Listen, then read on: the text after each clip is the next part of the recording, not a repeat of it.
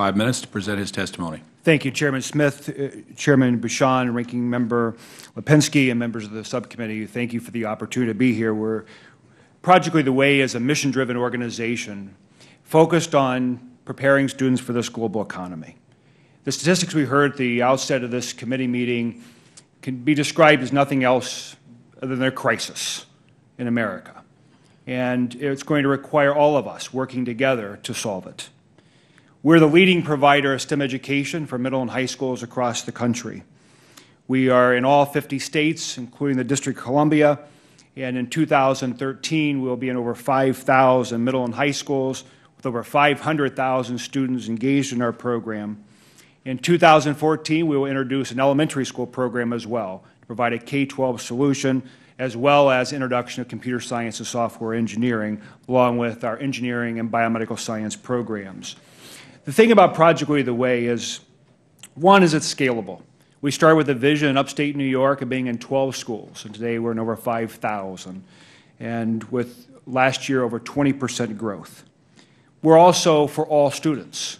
We're in all school types, from urban, suburban, public, public charter schools, private, parochial, small and large schools, rural, and as well as low income and affluent schools. We're also a sustainable organization, one that is built on strength and operational excellence so that we can continue to advance this important mission across our nation. But our program is built on three key pillars. One is providing world-class curriculum that is engaging for students. It's standards-based, it's aligned with industry and post-secondary expectations. It's project activity-based. Most importantly, we teach kids how to think critically, how to problem solve, and how to collaborate, the type of skills required in the workplace. We also train thousands of teachers. Last summer, we trained over 3,800 teachers across the United States at one of our 48 university affiliates, such as Duke University, University of Illinois, San Jose State University, the Milwaukee School of Engineering, and many others that engage with us in an intentional effort not only to train teachers but to engage with our schools and with our students. We have a national network of master teachers, over 400 teachers that train other teachers on how to teach STEM education, how to teach in a project-based classroom, which is a fundamental shift in the way teachers teach. But the third pillar deals with this network. And as I mentioned, it's critically important that we collaborate. We find ways to work together. Uh, it, no one is going to solve this problem alone. And it's not going to be just in K 12 education or in higher education, but it's this seamless pipeline. So, for us, some examples, such in California, where NextEd in Sacramento is really moving toward a statewide implementation of Project Lead the Way. We've grown from five schools in mid 2000s, now we're 400 schools. But it's, it's because not only NextEd's vision, but also companies like Intel who's helping grow and sustain programs in California and across the nation.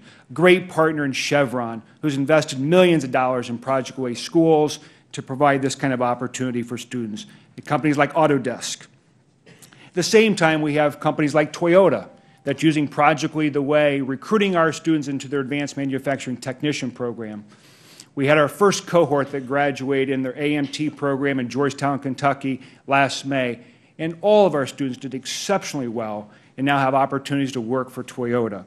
That's rolling out into all their North American facilities, recruiting PLTW students into an advanced manufacturing technician program that will allow our students to earn associate degrees and for some to go on to baccalaureate degrees.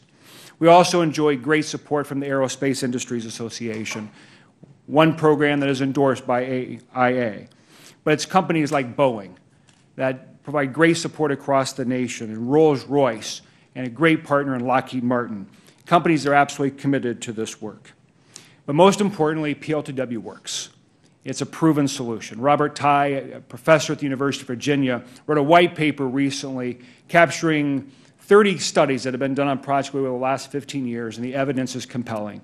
Our students outperform, they persist in higher education, they aspire to go into STEM disciplines, the exact type of educational program we need to help grow America and improve our economy. Thank you. Thank you. I now recognize Ms. Ingram for five minutes to present her testimony.